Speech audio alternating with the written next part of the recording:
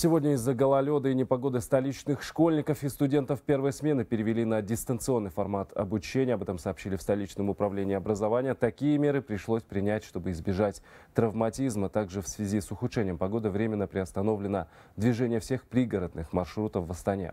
Обо всех изменениях по движению общественного транспорта в транспортной компании СТС просят следить в их социальных сетях.